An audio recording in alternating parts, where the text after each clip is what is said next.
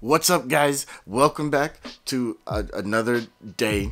It's not really day. It's like two in the morning for me right now. But I wanted to film this. I, there's something that I'm using right now that I've been working on, and it's kind of like a testing for me. And I wanted to do this video because uh, somebody left a comment. Um, you know, what? hold on. All right, so sorry about that. So, uh, yeah, somebody left a comment, and uh, er Edward Jeremy said, "Show us your starting vlogger pack." So I'm gonna show you guys a couple of the things that I've been using, why I've been using it, and kind of the progression of things. Something I just got, and I'm gonna show you how to do a couple of cool false cuts in the midst of all of it. So let's just uh, get started. Ha ha ha! That was pretty stupid. I don't know. Come here. Let's just go. All right. So, oh, wow, that looks pretty cool. There we go. So let's talk about what you can use if you want to start vlogging. And I think the easiest thing, if you want to get into vlogging cheap and easy, and if you have one of these already, it's the best way to go. And it's this right there. This is a phone. Believe it or not, a lot of these phones nowadays, the cameras are really, really good. The audio is pretty good. And it's a simple, easy way to have a camera on you to start recording right away.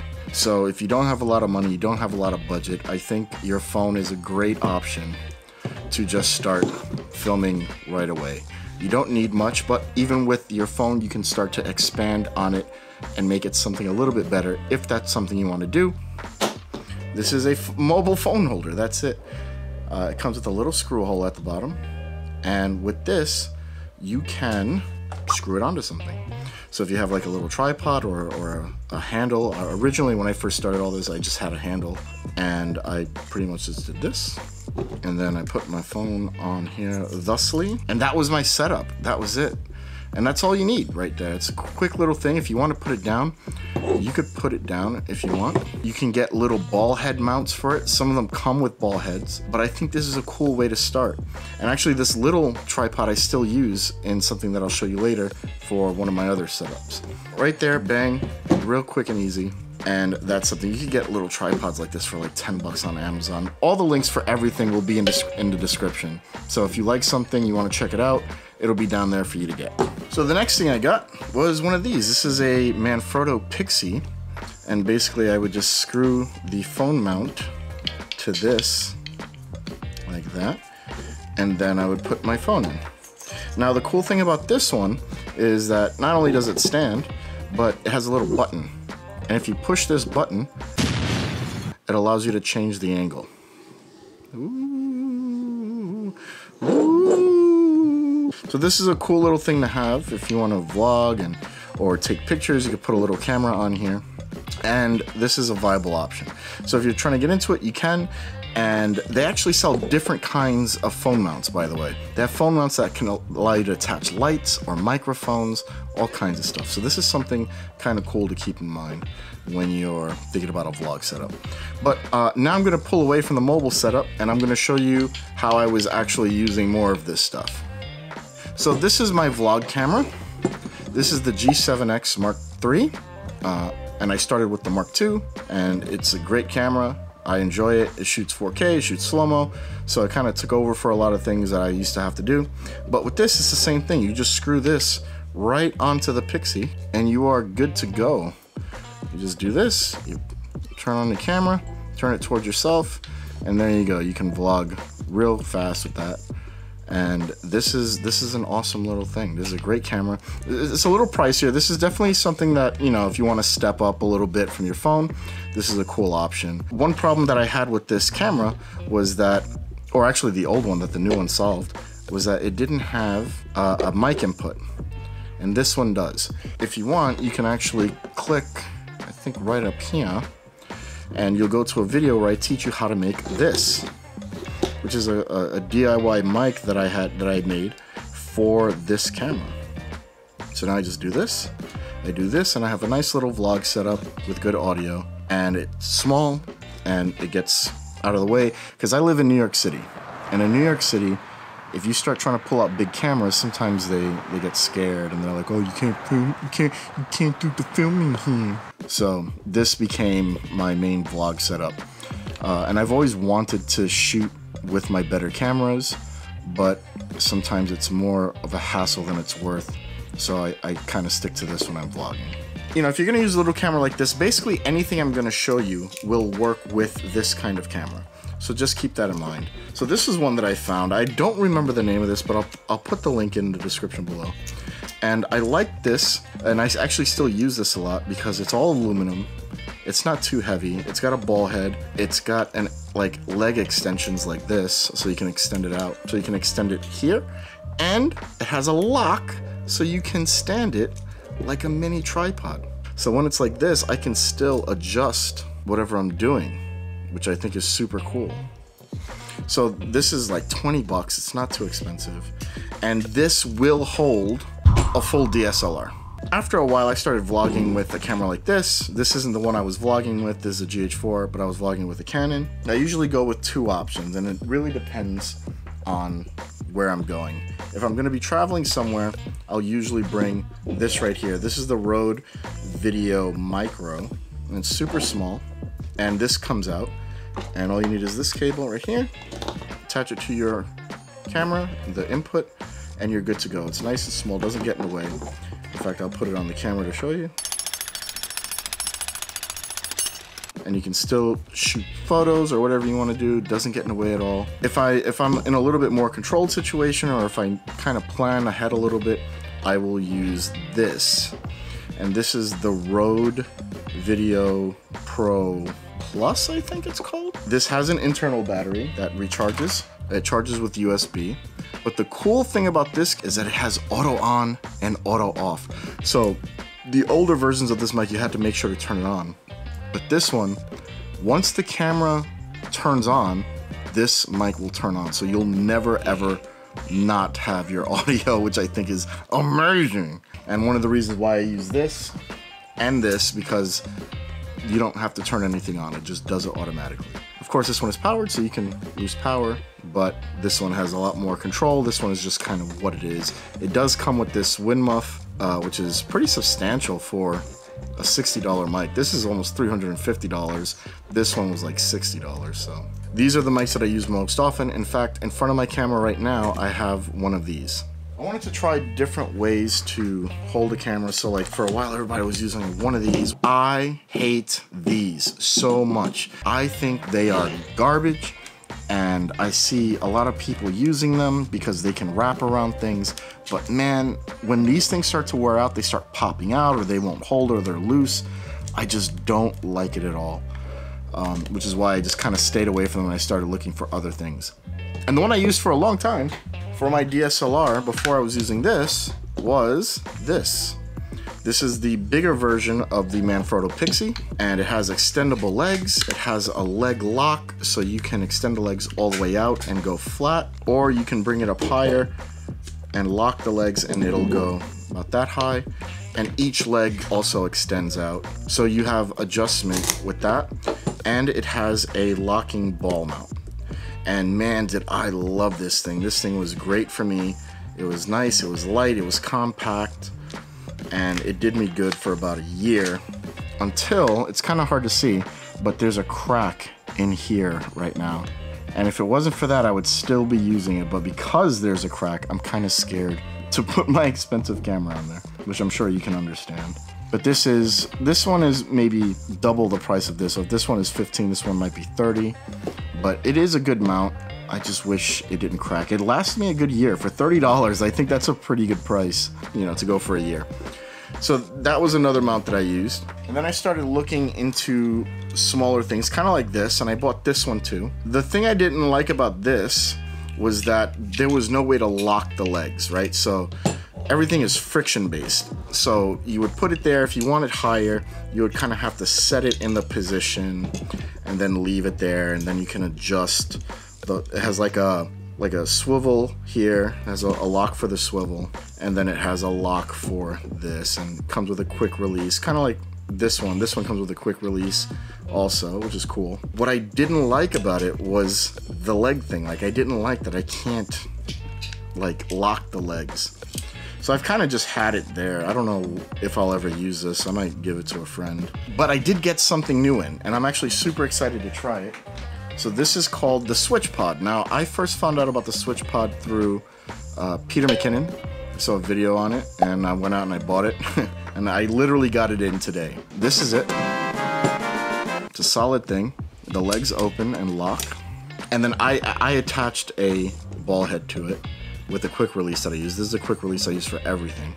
But I think one of the important things with this is when you get something new, you got to do like the sniff test. Yeah.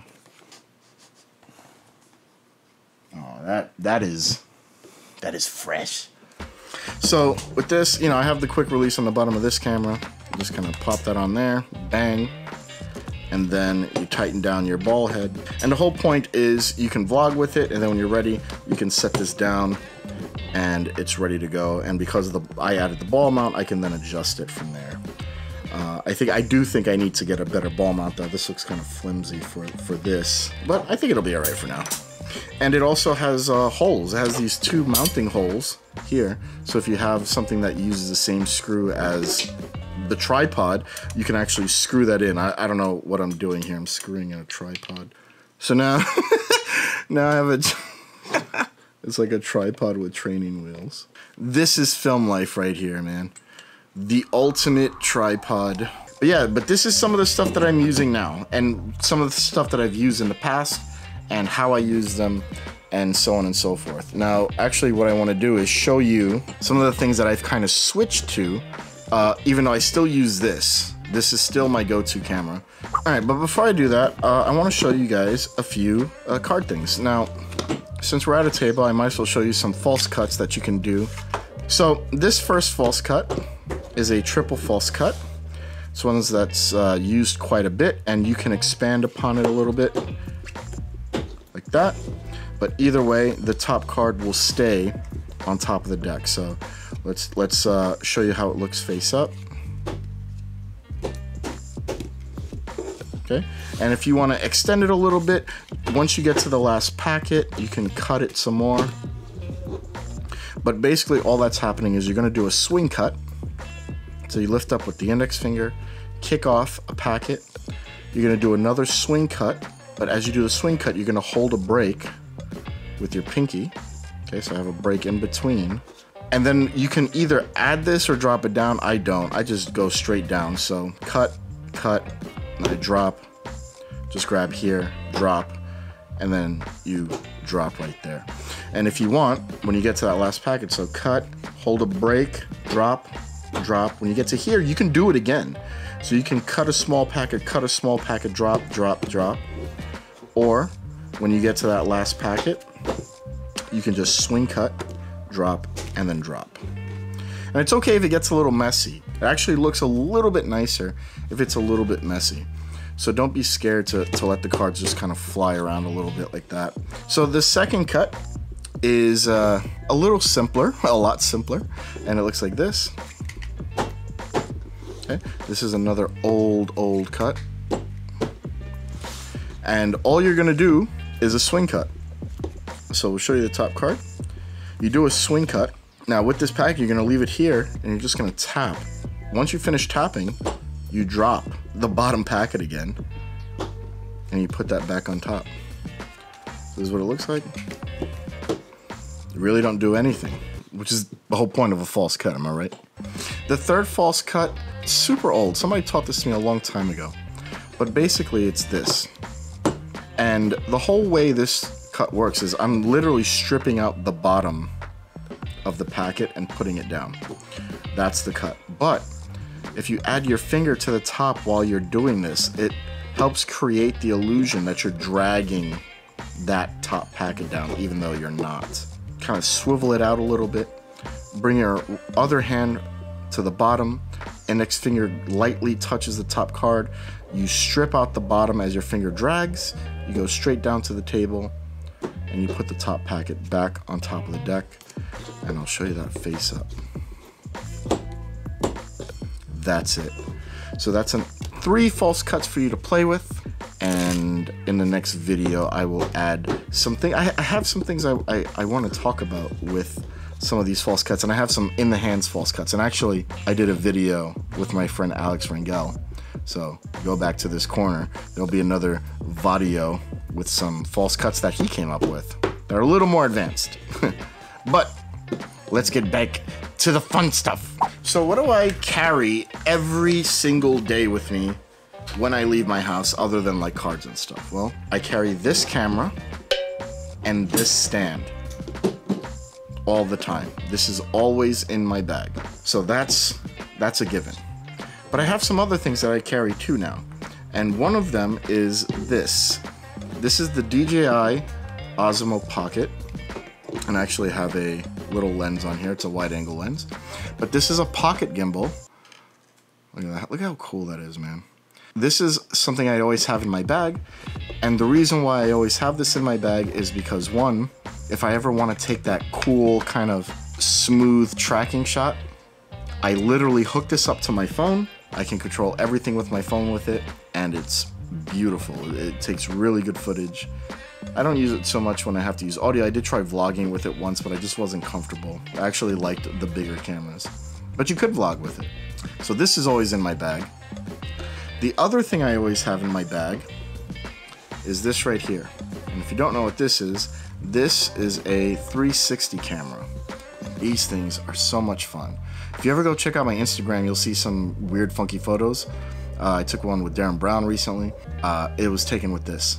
I usually carry the stick, the selfie stick, and this. That's it.